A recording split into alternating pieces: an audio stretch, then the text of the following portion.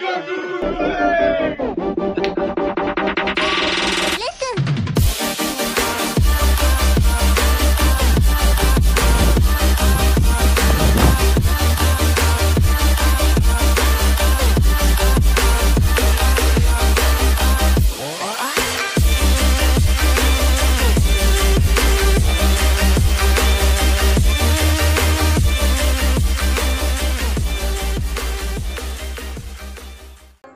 district Hangu के करीब एक बहुत ही खूबसूरत गाँव वाक़ है, जिसका नाम है इब्राहिम जई। इब्राहिम जई के पहाड़ों से गुजरकर एक पुराने तर्ज के घर बनाए गए हैं, जिसको कुंडुली के नाम से याद किया जाता है। ये तकरीबन 12 से 13 किलोमीटर गाँव से दूर है और तकरीबन तीन से चार घंटों का पैदल सफ़र है। ये तकरीबन तीन घंटे का सफ़र है। लेकिन मसला ये होता है कि यहाँ पे काफ़ी स्टीप्स आप को बहुत यानी मुश्किल से वॉक करनी पड़ती है और देख सकते हैं बिल्कुल हम पहाड़ों के बीच में जा रहे हैं इस वक्त। यहाँ पे आपको अपने साथ असलहा लेके जाना पड़ता है क्योंकि कुछ पता नहीं चलता कहीं से आपको जंगली जानवर भी मिल सकते हैं और ख़तरे की घंटी बच सकती है।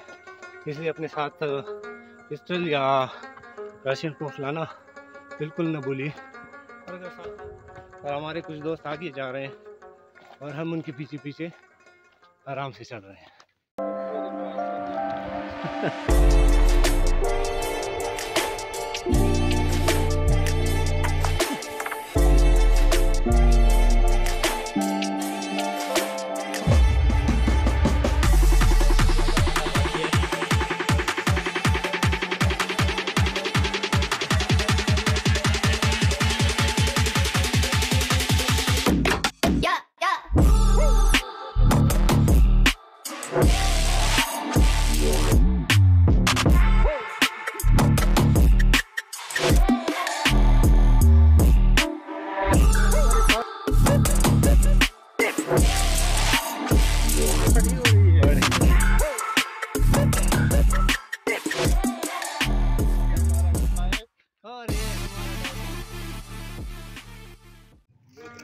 कुंडूली जाते हुए रास्ते में एक बहुत बड़ा दरख्त आता है जिसको खावन बूटे कहते हैं।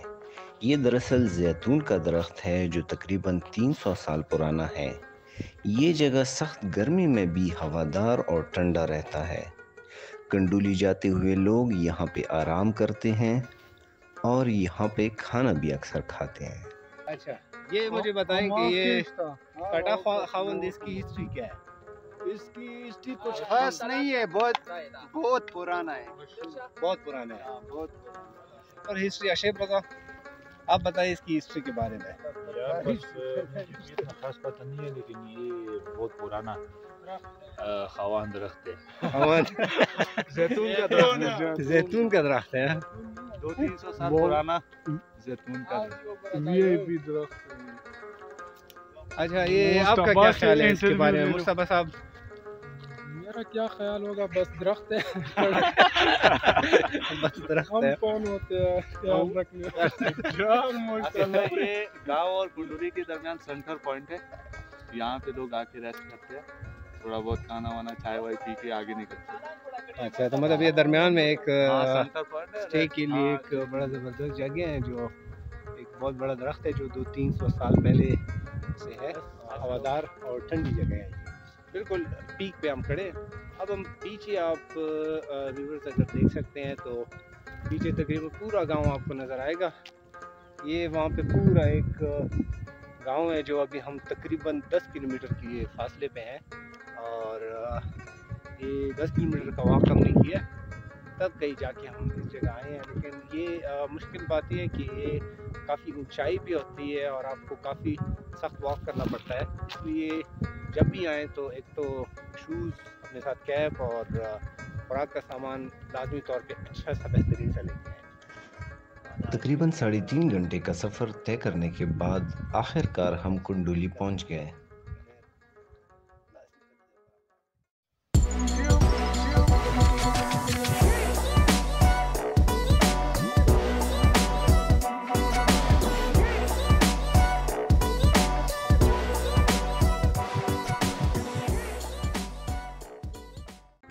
कंडोली पहुँचते ही हमने एक जगह का इंतखाब किया और थकावट दूर करने के लिए गुड़ की बेहतरीन चाय बनाई पहुँच चुके हैं कुंडली अब हमारे सारे दोस्त भी हैं ये देख लो ये चाय बना। रहे हैं अमीन है मुस्तफ़ा है यासीम है आसिम बैठा हुआ है ये सैन भाई है ये क्वार से स्पेशल आया है कुंडली के लिए आया है। तकरीबन चार घंटे सफ़र किया उसने। लेकिन ये कह रहा है कि तक का नहीं हूँ झूठ बोल रहा है। ये हमारी पार्टी हो रही है। और ये जैन है। ये चाय बना रही है। ये हमारी पार्टी हो रही है। चाय पीने के बाद चूँकि हमें शदीद भूख लगी थी तो हमने खाना पकाना भी शुरू किया।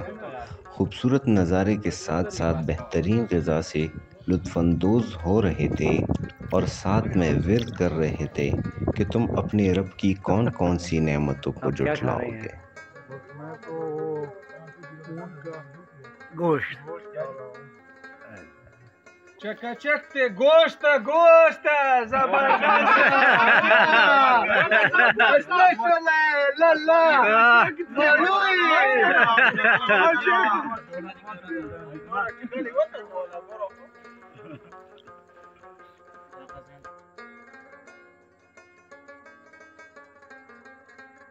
खाना खाने के बाद हमने तकरीबन एक घंटा आराम किया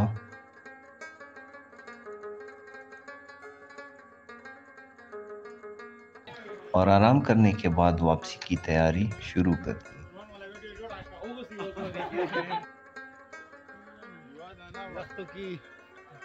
Let's go back to our village.